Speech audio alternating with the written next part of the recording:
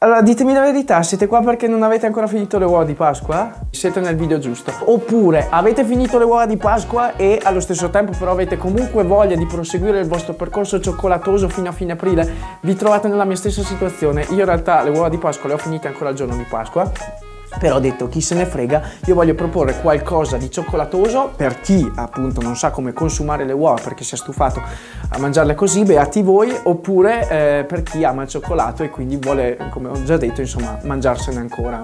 il cioccolato fa bene. In più, mangiando cioccolato si sviluppa um, l'ormone del buon umore e credo che in questo periodo qua ne abbiamo tutti bisogno. E sono tre idee quelle che vi propongo oggi, tre idee facili, veloci e molto molto buone. La prima idea è veramente facilissima, pochi ingredienti, eh, tutti molto facili da reperire. Facciamo una panna cotta che però non è fatta con la panna ma con il latte. Tranquilli perché non viene una ciofeca, anzi sarà un modo per avere una panna cotta più leggera. Però visto che mettiamo dentro il cioccolato fondente, non, avremo comunque un dolce abbastanza corposo, capito? In abbinamento delle fragole sopra secondo me sono spaziali.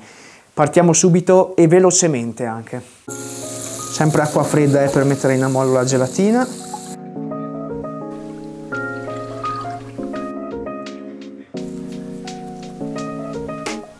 Aggiungo un goccio d'acqua fredda e stempero.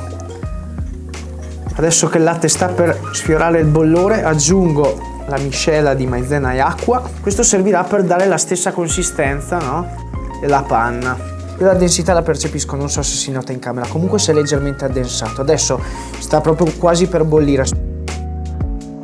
Quindi aggiungiamo la gelatina, spegniamo la fiamma adesso che si è sciolta e aggiungiamo il cioccolato.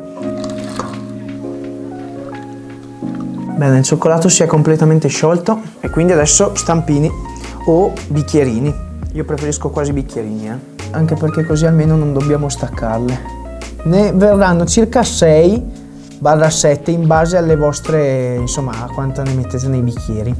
Allora, adesso lasciatemele mettere in frigo per circa 3-4 ore e nel frattempo noi ci dedichiamo al topping con le fragole perché cioccolato e fragole è una meraviglia.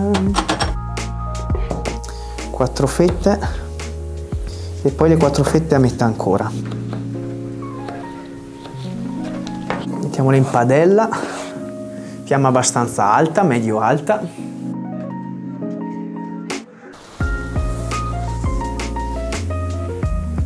Mm.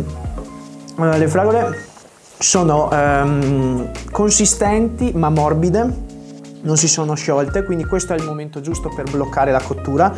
Spengo, se notate che nella vostra padella, venite qua che vi faccio vedere, c'è tanto sciroppo, molto più di questo, allora io vi consiglio di fare un passaggio, ossia prendere un colino, una ciotola, cominciare a filtrare le fragole,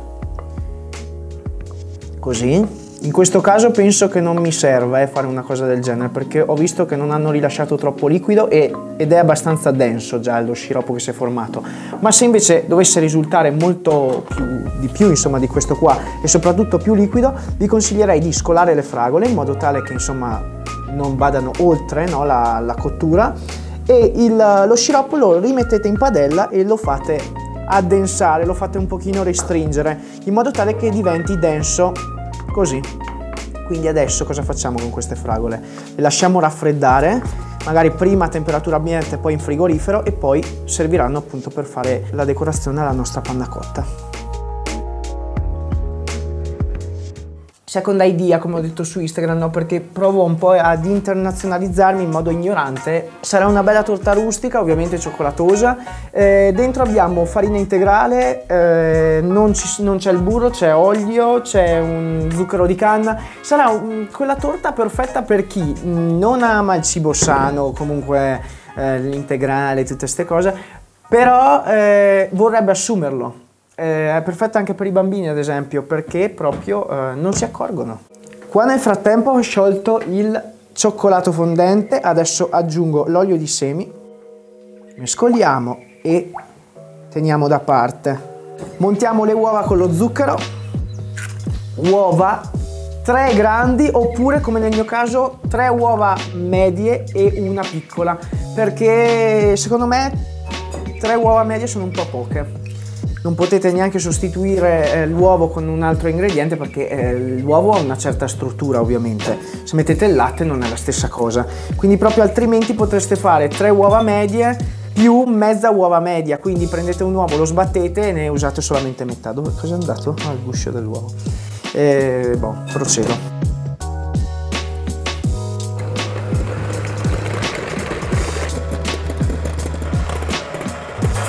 Voilà! Le ho montate per circa 10 minuti per ottenere sempre un composto bello morbido e spumoso. Adesso aggiungiamo tutti gli altri ingredienti e le polveri meglio setacciarle per evitare insomma, che il composto si smonti. Cioccolato e olio che nel frattempo si sono intiepiditi e cominciamo a mescolare dal basso verso l'alto. Uniamo due cucchiai di acqua calda che daranno morbidezza a questa torta. Va bene prenderli direttamente dalla, dal bagnomaria Adesso cominciamo a mescolare le polveri, lievito per dolci, farina integrale e cacao.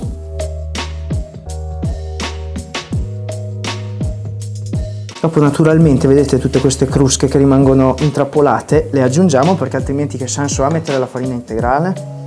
Poderiamo la torta, siccome è rustica, per una volta io, guardate, non mi interessa neanche fare una torta bella ma che sia buona sì quindi me ne frego nella parte estetica prendo carta forno la bagno e la strizzo così è più modellabile e fodero uno stampo rettangolare. A me piace farla rettangolare questa qua. Lunghezza circa 21 cm larghezza 18 quindi proprio cercate una teglia di queste misure. Se è un filino più grande non è un problema l'importante è che sia piccola per avere una bella torta alta distribuiamo bene anche negli angoli. Direi molto bene. Poi qua un gran casino quindi magari come al solito. E eh, però il profumo è super buono eh, nonostante ci siano questi ingredienti più sani. Provatela ragazzi. Eh, 30 minuti 180 gradi modalità statica. Nella parte medio bassa del forno.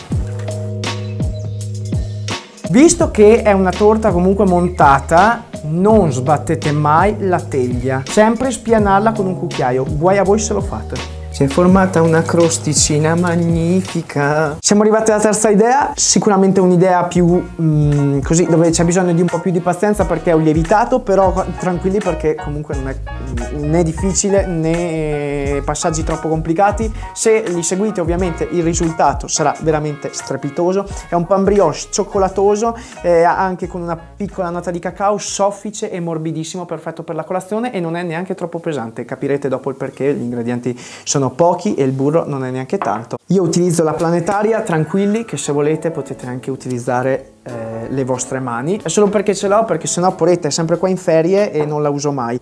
Faccio nella, nella farina un buco, lievito di birra, un cucchiaino di zucchero, magari con il mestolo di legno, mescolate per farlo sciogliere. Acqua a temperatura ambiente.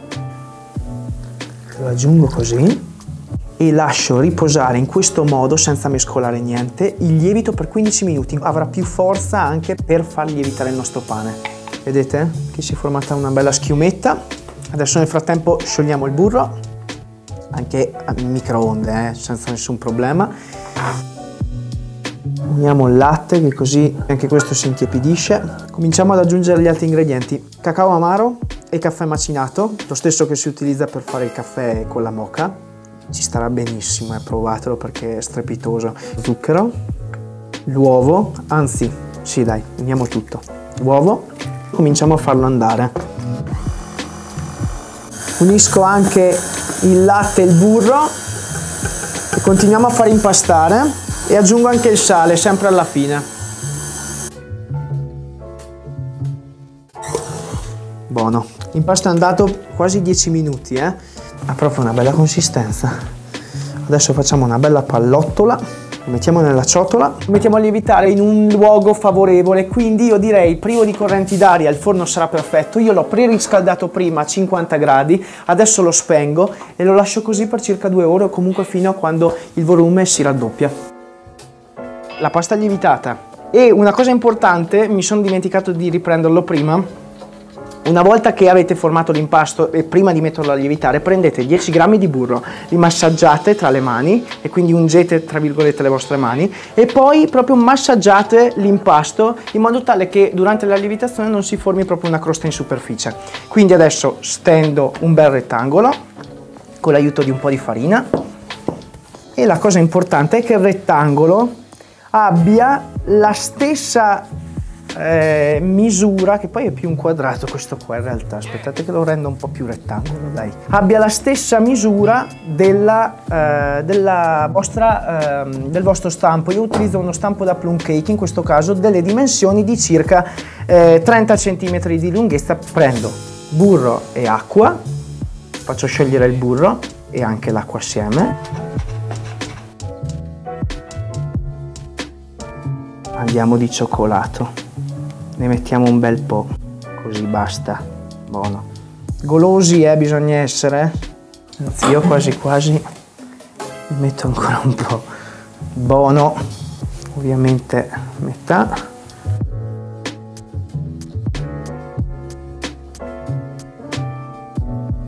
Teglia imburrata con carta forno, distribuisco queste rose in questo modo e ricordatevi che la parte del, del giro qua deve essere messa all'interno, eh, mica da questa, mi raccomando, eh, così.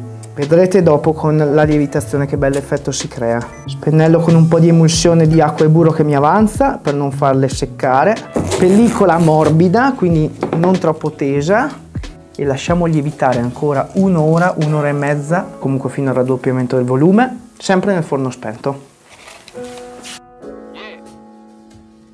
Ci sono due teglie, perché? Perché mi sono reso conto che quella, quello stampo da plum cake che avevo prima era troppo largo, quindi il risultato non veniva come volevo io, cioè nel senso invece che gonfiarsi il pan brioche in alto si allargava e basta, ho detto no no, qua non, non ci siamo proprio, ho trovato questo stampo più piccolo che ho a casa e ho messo 6 roselline qua perché 8 non ci stavano e 2 le ho messe qua per fare tipo delle girelle. Normalmente per questo pan brioche uso uno stampo un pochino più lungo ma stretto allo stesso modo, solo che quando cerchi una cosa non la trovi e non sono riuscito a trovarlo prendo l'albume e lo spennello sulla superficie in modo tale da renderla lucida. Pianino, siate delicati. 180 gradi, modalità statica per circa 25-30 minuti. Sotto ho un pentolino di acqua per creare un ambiente umido e dare più morbidezza anche proprio alla pasta. Abbiamo finito, Credo che abbiamo lavorato abbastanza e allo stesso tempo ce l'abbiamo fatta a portare a casa dei piatti fantastici. Cosa abbiamo preparato oggi? Una panna cotta, sembrerà di mangiare praticamente una cioccolata calda fredda con delle fragole buonissime profumate. Abbiamo fatto questa torta al cioccolato fantastica, perfetta per illudere quelle persone che detestano il cibo sano e allo stesso tempo accontentare invece chi ama il, la farina integrale, zucchero di canna, tutte quelle cose un, più, un po' più salutari. E poi abbiamo preparato questo pan brioche, ragazzi, guardate che morbidezza. Noi nel frattempo ci vediamo su Instagram per una parte di intrattenimento ovviamente combinata alle ricette. Iscrivetevi al canale se non vi siete ancora iscritti per rimanere sempre aggiornati sui contenuti e mm, attivando la campanella rimanete sempre aggiornati sui contenuti. Diciamo che attivando la campanella sarete più aggiornati rispetto a non attivarla ovviamente. E poi invece sotto c'è il link per la, eh, cioè il collegamento insomma per il blog e vedere la ricetta scritta, le ricette scritte. Mangiamo cioccolato, fa bene all'umore e mi raccomando teniamo duro. Grazie come sempre per essere stati qua.